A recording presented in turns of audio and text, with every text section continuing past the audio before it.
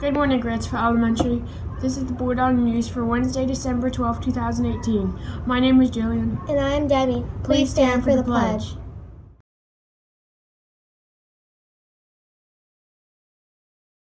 I pledge allegiance to the flag of the United States of America and to the republic for which it stands, one nation, under God, indivisible, with liberty and justice for all.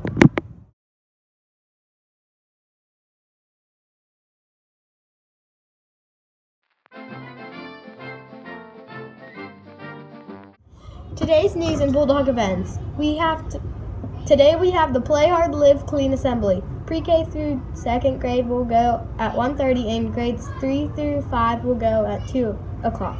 Tomorrow will be the school-wide Christmas program at 9. We, collect, we collected $220.71 for the penny drive. Way to go, Grantsville Bulldogs. Top three winners. First place, 15 extra minutes of recess, fifth grade, with $57.08. Second place with 10 minutes of extra recess, second grade with $37.85. And third grade with 5 minutes of extra recess. Oh, third place with 5 extra minutes of recess, fourth grade, $35.26.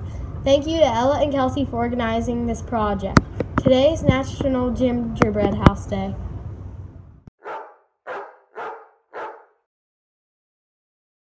Now we are going to announce the classroom award awards for the month of November. The Golden Book goes to Miss Hardesty's class. The Golden Paintbrush goes to Mrs. Mackenzie's class. The Golden Shoe goes to Miss Yoltis's class. The Golden Note goes to Miss Hardesty's class. The Manner Munchers goes to Miss Francis' class. The Bulldog Broom goes to Miss Roten's class. And drum roll please for the top dog. Miss Vinegar's class.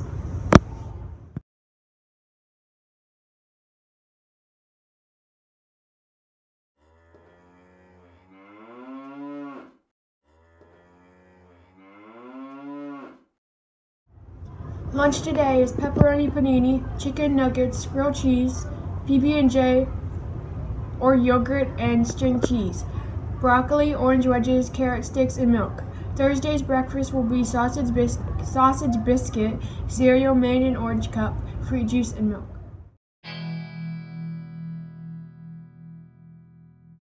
There will be some snow with a high of 30 degrees and a low of 16 degrees with a 10% chance of precipitation.